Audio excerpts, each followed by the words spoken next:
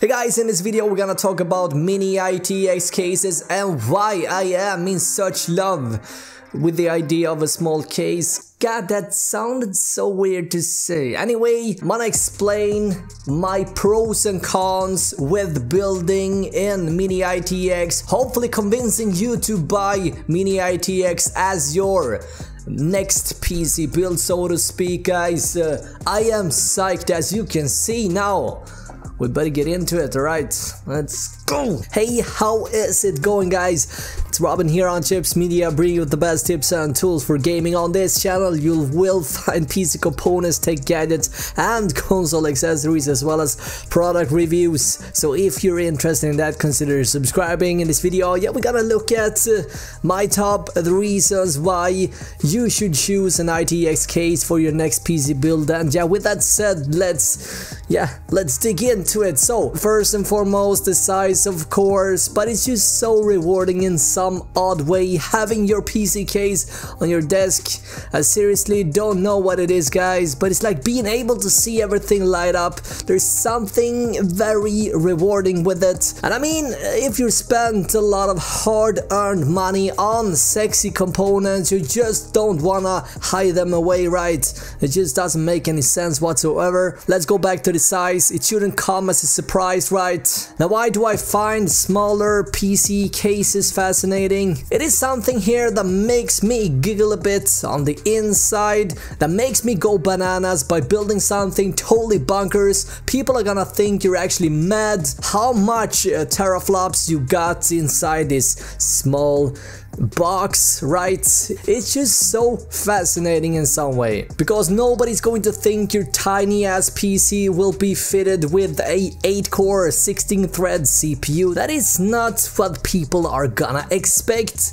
And yeah, also one of the reasons why it's so fascinating. Now with an ATX case, with the right case clearance of course, you can build a high-end PC that won't take up much more space than the actual length of the graphics card. That being said, there's several cases that are even smaller than this NZXT H200i that I have with me today, like the Dan case for example, the Linus over at LTT had a look at. Uh, a while ago. I'll link that down below for you guys as well. If you would have told me a couple of years ago that you can build high-end PCs with uh, plenty of cores and uh, yeah, a high-end graphics card like the 1080 Ti for example, run 4K gaming, I would have laughed in your face. Yeah, the future is here guys, size does not matter any longer. You can build very high-end PC systems in small form factors nowadays and thanks to the evolution in the tech space, where chipsets have become smaller and smaller, require less power, which means you don't have to worry as much of cooling as you had to do years ago. Many, many times I hear people get discouraged to build in smaller cases because they fear that they need better cooling capacity, simply put more moving fans to deal with all the extra heat. Guys, the truth of the matter is the opposite, you're not only dealing with less amount of heat, as with a bigger system, you're also gonna find it easier to actually get rid of the heat as well, because we're dealing with less space, less air need to be moved, since the area warm or hot air is gonna be smaller. That's the rules of physics, and physics, never lie. Now let's go back to uh, what I love about mini ITX cases. You can, of course, have it sitting on your desk and it won't occupy too much space. Also, you're dealing with less dust thanks to having it on your desk, and not on your floor, because we all love to show off our PCs, right? Having it on your desk will make everyone see it in a way that they wouldn't if it was sitting on the floor. It also makes it easy to connect USB peripherals, not having to get down on your knees every time. It also makes it perfect to bring along to LAN parties, being able to bring it along to whatever event you want, rather than bringing your less powerful laptop boring. It simply doesn't feel like this huge sacrifice you have to do as it would have been with bringing a bigger case. Now I have demonstrated in the past guys where I've been playing tons of different games on this PC so I won't be doing that in this video but yeah you've seen it with your own eyes it is possible. Now, a few things to have in mind on behalf if you're thinking about building your own ITX build. Alright, so first things first, AMD is unlike Intel supporting the AM4 socket across all Ryzen processors. So let's just come up with a scenario. Let's say you're gonna buy a B350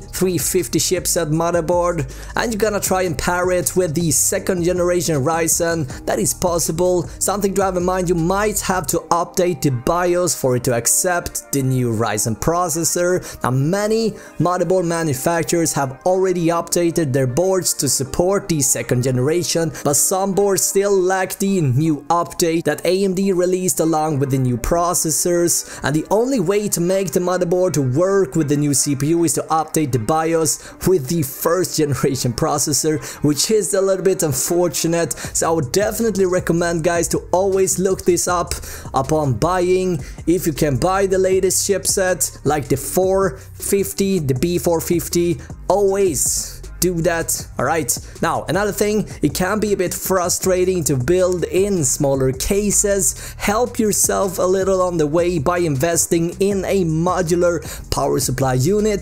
Modular means less bulky cables, which will help you a ton. And I cannot stress this enough, you gotta thank me during the assembly process. Also, typically go with a slightly shorter power supply if possible. Keep things small, remember that modular power supplies often often require a bit more space for the extended cables. And there's always nice to have the extra space to stuff things away like long cables for example. That is often a problem with smaller cases. Now last and definitely not least fan connectors is another disappointment on ITX enclosures because we're looking at small form factor. This is something you're gonna have to keep an eye on. Having a look in the description on Amazon etc before you press the buy button guys. I prefer to buy a case that have a fan control, a fan hub or some sort that handles that for you but yeah something to have in mind. Fewer connections is very common. Guys, I did a review on this case. I also tested the performance in the 450 US dollar gaming PC. You guys can find those videos down below if you're interested to see what specific parts I decided to go with. But anyway, that's pretty much sums up my experience working with ITX Now I'm very pumped to hear what future PC builds you guys have in mind, what parts you're gonna use and what games you're looking to play it on. Please share your ideas. I'm actually off to build another PC for you guys pretty soon. Cannot wait to share more about it. But until next time guys, have an awesome day, alright? Bye.